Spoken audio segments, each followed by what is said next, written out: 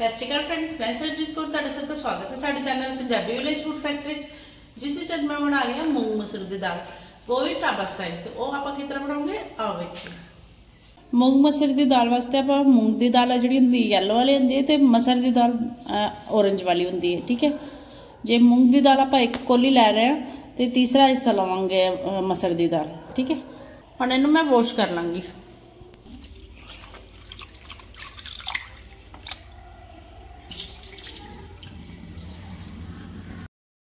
ਹੁਣ ਇਹਨੂੰ ਪਾਣੀ ਨੂੰ ਮੈਂ ਗਰਮ ਕਰਨ ਵਾਸਤੇ ਰੱਖਾਂਗੀ।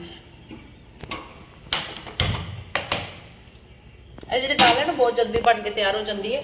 ਤੇ ਇਹਦੇ ਜਿਹੜੇ ਜਿਹੜੀ ਆਪਾਂ ਦਾਲ ਬਣਾ ਰਹੇ ਨਾ, ਉਹ ਢਾਬਾ ਸਟਾਈਲ ਬਣਾ ਰਹੇ ਕਿਉਂਕਿ ਅੱਜ ਕੱਲ ਤੁਸੀਂ ਦੇਖਿਆ ਹੋਵੇਗਾ ਬਫੇ ਬਫੇ ਵਿੱਚ ਵੀ ਜਿਹੜੀ ਹੈ, ਇਹ ਦਾਲ ਮਿਲਣੀ ਸ਼ੁਰੂ ਹੋ ਗਈ ਹੈ। ਤੇ ਕਿਉਂਕਿ ਲੋਕੀ ਨਾ ਇਸ ਦਾਲ ਨੂੰ ਬਹੁਤ ਜ਼ਿਆਦਾ ਪਸੰਦ ਕਰਦੇ ਜਿਵੇਂ ਸਫ਼ਰ ਵਿੱਚ ਜਾਂਦੇ ਨਾ ਕੁਝ ਹੈਵੀ ਖਾਣ ਦੀ ਬਜਾਏ ਨਾ ਹਰ ਇੱਕ ਬੰਦਾ ਸੋਚਦਾ ਕਿ ਹਲਕਾ ਹੋਵੇ ਥੋੜਾ ਖਾਦਾ ਜਾਏ, ਕਿਉਂਕਿ ਸਫ਼ਰ ਵਿੱਚ ਨਾ ਡਾਈਜੈਸਟ ਨਹੀਂ ਹੁੰਦਾ ਹੈਗਾ। ਤੇ ਇਸ ਕਰਕੇ ਆ ਜਿਹੜੀ ਦਾਲ ਹੈ ਜੇ ਆਪਾਂ ਸਟਾਈਲ ਬਣਾ ਰਹੇ ਆ ਦੋ ਗਲਾਸ ਪਾਣੀ ਲਿਆ ਮੈਂ ਇੱਥੇ।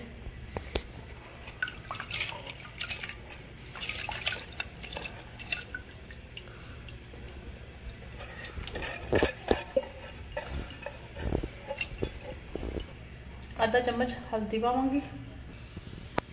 ਨਮਕ ਤੁਸੀਂ ਆਪਣੇ ਟੇਸਟ ਦੇ ਅਕੋਰਡਿੰਗ ਵਧੀਆ ਘੱਟ ਕਰ ਲੈਣਾ। ਮੈਂ ਇੱਕ ਚਮਚ ਲਿਆ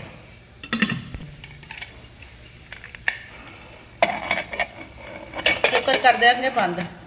ਤੇ ਇੱਥੇ ਆਪਾਂ ਦੋ ਸੀਟੀਆਂ ਦਵਾਉਣ ਦੀ ਲੋੜ ਹੈ, ਜ਼ਿਆਦਾ ਸੀਟੀ ਦਵਾਉਣ ਦੀ ਲੋੜ ਨਹੀਂ ਕਿਉਂਕਿ ਮਸਰ ਨੇ ਨਾ, ਮਸਰ ਬਹੁਤ ਜਲਦੀ ਘੁਲ ਜਾਂਦੇ ਨੇ।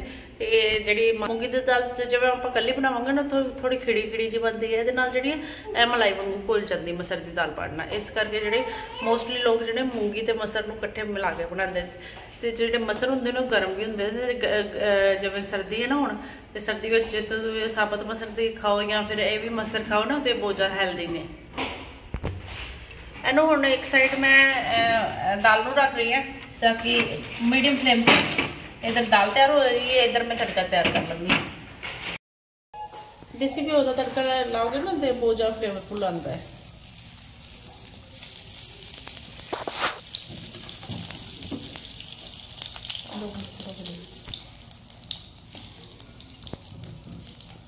ਘਿਓ ਹੋ ਚੁੱਕਿਆ ਮੈਲਟ ਤੇ ਆਹ ਵਾਲੇ ਮਸਾਲੇ ਲਵਾਂਗੇ ਆਪਾਂ ਇੱਕ ਛੋਟੀ ਇਲਾਚੀ ਇੱਕ ਵੱਡੀ ਇਲਾਚੀ ਅੱਧਾ ਚਮਚ ਜੀਰਾ ਅੱਧਾ ਕੁ ਚਮਚ ਜਿਹੜੇ ਸੁੱਕਾ ਧਨੀਆ ਹੈ ਤੇ ਦੋ ਲੌਂਗ ਨੇ ਇਹਨਾਂ ਨੂੰ ਮੈਂ ਪੀਸ ਕੇ ਤੇ ਪਾਊਡਰ ਬਣਾ ਲਾਂਗੀ ਹੁਣ ਇਹ ਜਿਹੜਾ ਮਸਾਲਾ ਹੈ ਮੈਂ ਕੁੱਟ ਲਿਆ ਹੈ ਕਿਉਂਕਿ ਖੜਾ ਖੜਾ ਕਈ ਵਾਰੀ ਅਹ, ਕਈਆਂ ਨੂੰ ਅੱਛਾ ਨਹੀਂ ਲੱਗਦਾ ਹੈਗਾ ਤੇ ਇਸ ਕਰਕੇ ਇਹ ਮਸਾਲਾ ਮੈਂ ਕੁੱਟ ਲਿਆ ਹੈ ਇਹਨੂੰ ਮੈਂ ਪਾ ਦਾਂਗੀ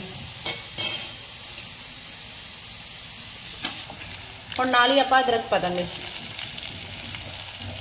ਲਸਣ ਜਿਹੜੇ ਕੱਟ ਕੇ ਪਾਣੇ ਤੇ ਇਹ ਜਿਹੜੇ ਅਹ, ਅਦਰਕ ਵੀ ਜਿਹੜਾ ਮੈਂ ਛੋਟੇ ਛੋਟੇ ਕੱਟਿਆ ਹੋਇਆ ਹੈ ਕਿਉਂਕਿ ਜੋ ਜ- ਇਹ ਦਾਲ ਵਿੱਚ ਜਿਹੜਾ ਕਰੰਚੀਨੈਸ ਜੋ ਇਹਦਾ ਅਦਰਕ ਦਾ ਆਉਂਦਾ ਨਾ ਜੋ ਮੂੰਹ ਚ ਆਉਂਦਾ ਤੇ ਬਹੁਤ ਜ਼ਿਆਦਾ ਟੇਸਟੀ ਲੱਗਦਾ ਹੈ ਹੁਣ ਇੱਥੇ ਪਿਆਜ਼ ਵੀ ਮੈਂ ਛੋਟੇ ਛੋਟੇ ਚੋਪ ਕੀਤਾ ਹੋਇਆ ਸੀ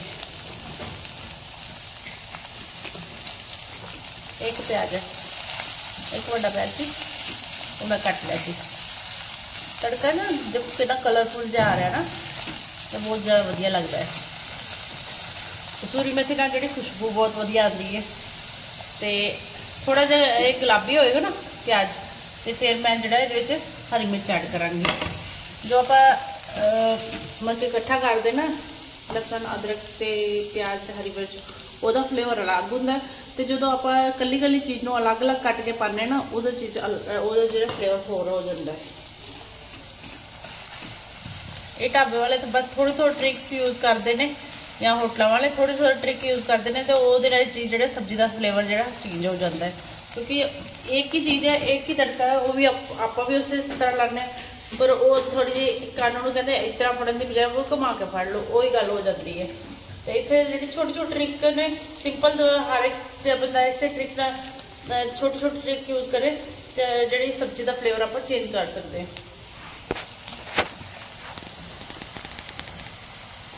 कढ़ाई की मीडियम फ्लेम से तो मैं थोड़ी सी फ्लेम हाई कर ली है ताकि जो प्याज है जल्दी भुज सकन इस टाइम ना अदरक लसन की खुशबू भी अलग तो आ रही है तो बहुत ज़्यादा फ्लेवरफुल लग रही है सब्ज़ी ये जी दाल है ना जीरा राइस ना बहुत ज़्यादा टेस्टी लगती है तो मैं जीरा राइस ऑलरेडी तैयार कर चुकी हूँ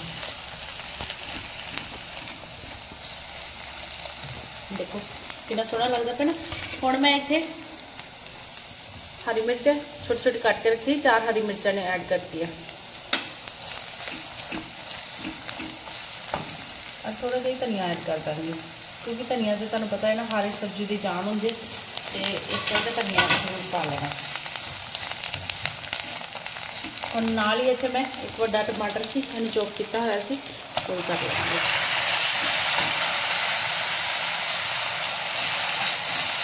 पहले दाल बनने से पाँच से दस मिनट लगेगा ज़्यादा टाइम नहीं लग जाएगा।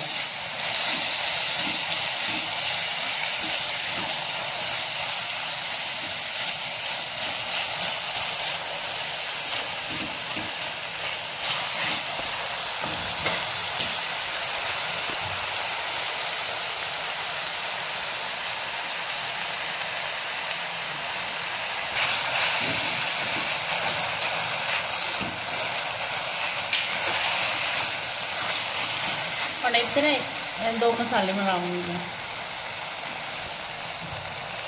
अरे गरम मसाला मंगा ना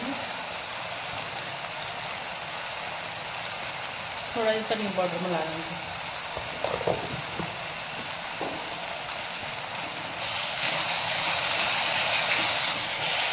इतने क्रश के जो कम्प्लीटली हुए फ्लेवर देना है ऐसे तड़का तैयार हो गया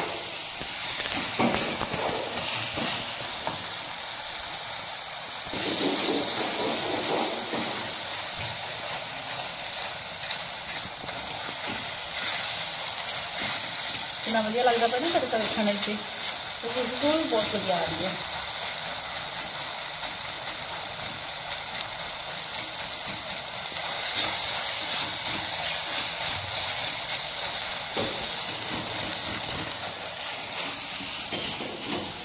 स्लो फ्लेम से ही आप सारे जो हम तड़का करा क्योंकि टमाटर में पक्का लगना थोड़ा टाइम लगता है। टमाटर जो पानी छड़ देंगे जो इस टाइम पर मसाला बनाओगे ना तो जो वजिया तरह, टमाटर भी पक तो मसाला भी जो वजिया तरह पक जाएगा वो थल्ला निकलेगा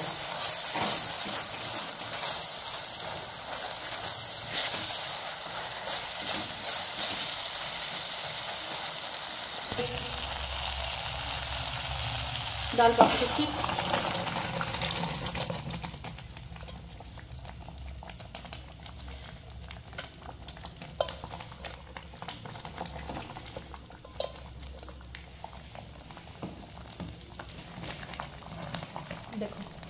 ਕਲਰ ਕਿੱਡਾ ਸੋਹਣਾ ਆਇਆ। ਪਰ ਹੁਣ ਇਹਦੇ ਵਿੱਚ ਨਾ ਥੋੜੀ ਰੰਗਤ ਲਿਆਉਣ ਵਾਸਤੇ ਜਿਹੋ ਜੀ ਇਹ ਢਾਬਿਆਂ ਤੇ ਮਿਲਦੀ, ਉਹ ਜੀ ਰੰਗਤ ਲਿਆਵਾਂਗੇ। ਇੱਕ ਚਮਚ ਜਿਹੜੀ ਤੇਗੀ ਮਿਰਚ ਪਾ ਰਹੀ ਹਾਂ, ਤਾਂ ਕਿ ਇਹਦਾ ਕਲਰ ਵਧੀਆ ਆ ਜਾਏ ਤੇ ਹਿੰਗ ਉਹਨੂੰ ਮਿਕਸ ਕਰ ਲਾਂਗੇ ਛੋਟਾ ਜਿਹਾ ਚਮਚ ਦੇ ਨਾਲ।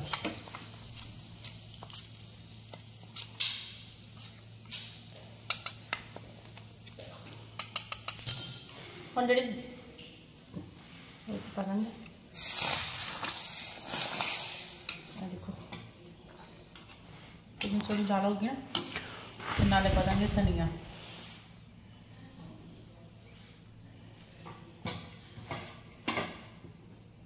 ਇਹ ਜਿਹੜੀ ਘਰ ਤੁਸੀਂ ਦਾਲ ਬਣਾਓ, ਤੇ ਇਹ ਵੀ ਬਹੁਤ ਜ਼ਿਆਦਾ ਟੇਸਟੀ ਬਣਦੀ ਹੈ। ਜਿਹੜੀ ਜਿਹੜੇ ਨਹੀਂ ਪਸੰਦ ਕਰਦੇ ਨਾ ਇਸ ਦਾਲ ਨੂੰ, ਤਾਂ ਉਹ ਵੀ ਕਹਿਣਗੇ ਕਿ ਇਹ ਦਾਲ ਜ਼ਰੂਰ ਬਣਾਓ।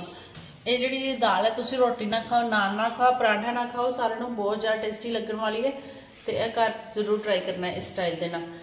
ਤੇ ਮੈਂ ਇਹਨੂੰ ਜੀਰਾ ਰਾਈਸ ਨਾਲ ਪ੍ਰੈਜ਼ੈਂਟ ਕਰਾਂਗੀ।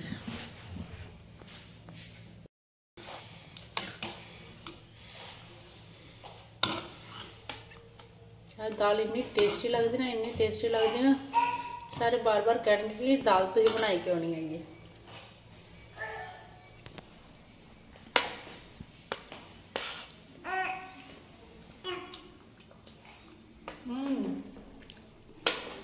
बहुत ज़्यादा टेस्टी बनी है।